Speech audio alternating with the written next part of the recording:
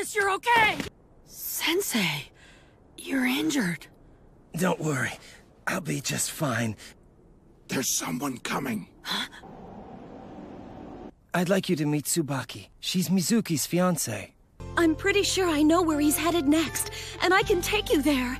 He only talks about one thing now. He wishes to seek out Orochimaru and get his hands on the Sannin's power.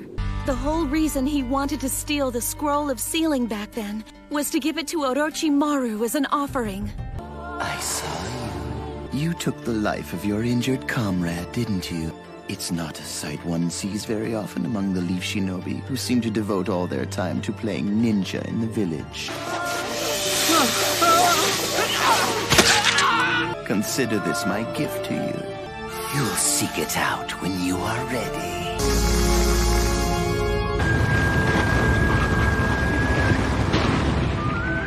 This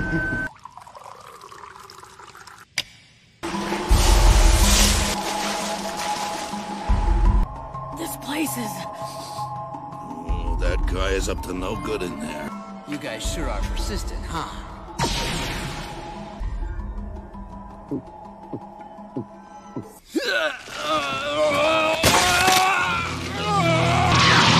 So this is what he was after.